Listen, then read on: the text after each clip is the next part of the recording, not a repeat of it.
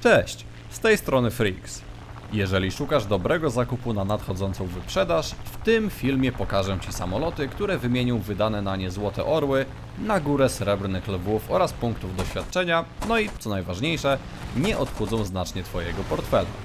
Lista ta została zmodyfikowana w związku z usunięciem niektórych maszyn z drzewek i obejmuje ona tylko maszyny, które pozostaną możliwe do zakupu. Let's go! Mustang Mark I Brytyjski Mustang znalazł się na tej liście przez łatwość, z jaką jego 420 mielą samoloty przeciwnika. Owszem, nie jest to już samolot na 3-3, ale nic nie zmieniło faktu, że potężne uzbrojenie oraz szybkość P-51 zapewnią Wam solidne szanse w walce z większością samolotów przeciwnika. Na przecenach będzie on kosztował Was 925 orłów. Ki-96 Dwusilnikowe samoloty zdecydowanie nie są metą w środowisku powietrznych airbaków. Wyjątków jest kilka. Jeden z nich jest właśnie w japońskim drzewku i będzie Was kosztować 800 orów, oczywiście wliczając 50% zniżkę.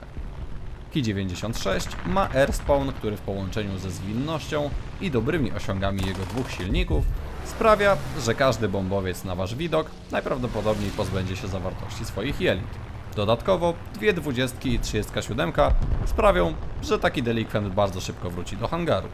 Szczerze polecam. By the way, jak widać na załączonym obrazku, dwie dwudziestki na myśliwce wystarczą w zupełności.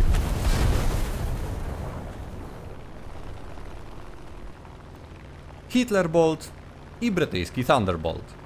Dlaczego akurat te dwa?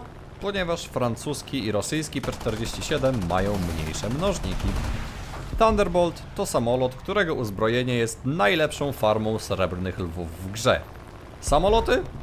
Oczywiście. Lekkie bunkry? Proszę bardzo. Większe bunkry? Bomby zrobią z nich kisiel. Czołgi przeciwnika? Nawet karabinami od góry posiekacie niejednego.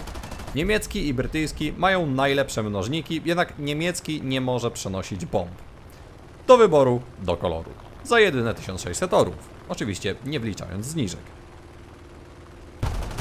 Rosyjskie P-63 Kobra była bardzo ceniona przez ruskich podczas jej służby na wschodnim froncie.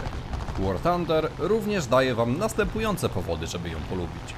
Dobre przyspieszenie i osiągi na niskim pułapie, 4 Browningi i 37, która co prawda bywa chimeryczna, ale nawet jeżeli będziecie celować samymi dwunastkami, to myśliwce przeciwnika zmienią się w kule płomieni częściej niż rzadziej.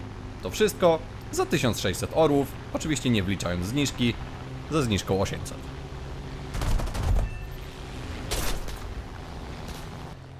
Zanim przejdziemy do miejsca numer 1, muszę wspomnieć o XP50.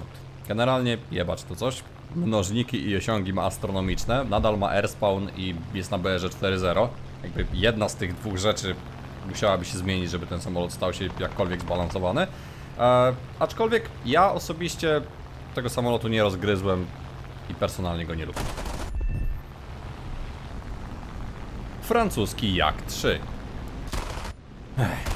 Smutna prawda o Jaku jest taka, że jest to po prostu niesamowicie mocny samolot. Poniżej 4 km mało co jest w stanie z nim rywalizować. Jeżeli już, to niektóre samoloty są lepsze w pojedynczych aspektach, ale nie ma tak wszechstronnie dobrego samolotu jak Jak 3. Do tego mnożniki premium, no i nic nie stoi wam na przeszkodzie, żeby całkowicie zdominować tym przeciwnika. Nic, tylko brać i latać. Bitwa, którą widzicie w tle, była jedyną, którą poleciałem tym jakiem, te potrzeby nagrania do tego filmu. Skończyłem ją z siedmioma fragami. Ech, no czołgiem i do usłyszenia.